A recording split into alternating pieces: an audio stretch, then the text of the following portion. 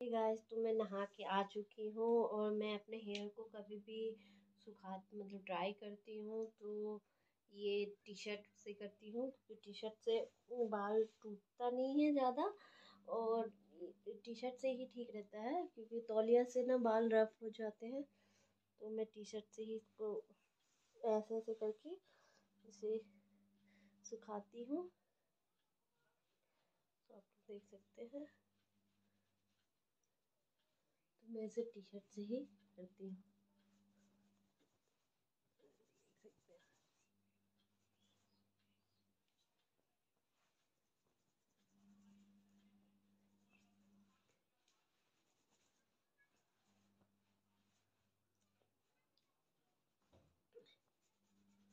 देख सकते हैं मैंने अपने बाल को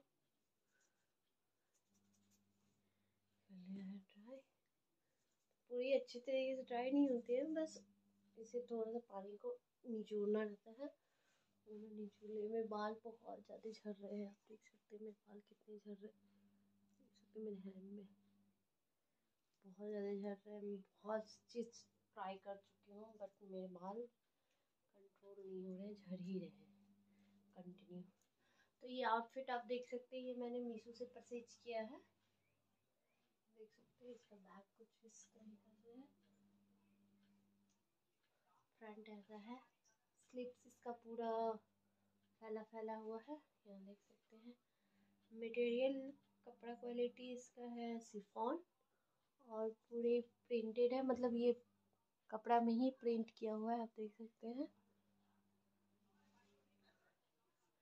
पूरे लुक देखिए इसे। पूरे लॉन्ग है ये। और यहाँ यहाँ कट है इसका, यहाँ देख सकते हैं आप, छोटा सा कट है यहाँ, और पूरा लॉन्ग है।